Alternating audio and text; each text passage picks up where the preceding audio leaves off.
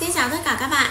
Các bạn thân mến, bài học của chúng ta ngày hôm nay Mình và các bạn sẽ cùng tiếp tục thực hiện phần B Bài số 2 Với yêu cầu là ước lượng kết quả của phép tính sau Rồi ghi kết quả của phép tính theo mẫu.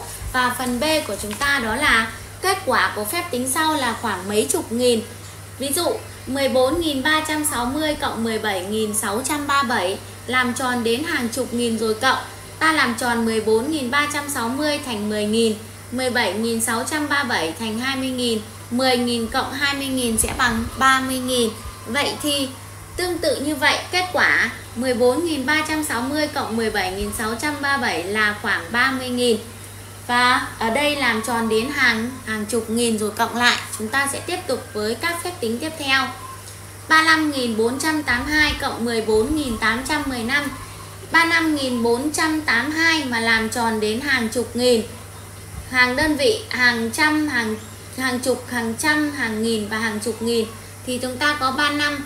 5 bằng 5 làm cho nên bằng 30 à 36.000 tiếp tục 14.815 thì chúng ta làm tròn xuống thành 10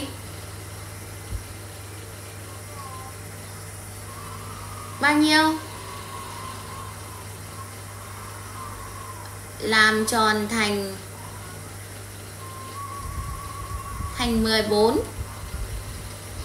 14.000 ta có 36.000 cộng với 14.000 sẽ bằng bằng 50.000 à bằng khoảng 50.000 tiếp theo kết quả của 314.602 cộng với 27.067 ta làm tròn đến hàng chục nghìn là à, thì 4 này nhỏ hơn 5 ta làm thành 31 310.000 và 27 7 lớn hơn 5 ta làm tròn lên thành 30.000 310.000 cộng 30.000 thành 340 à 340.000 Đó.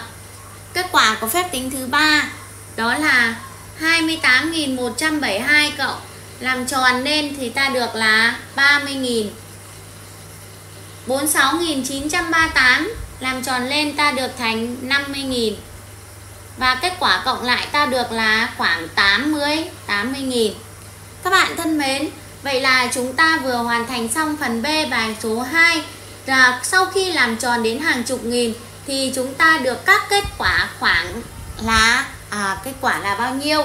Vậy thì chúng ta vừa ôn tập về cách làm tròn. Bài học của chúng ta ngày hôm nay đến đây là hết rồi. Hẹn gặp lại các bạn ở những bài học sau.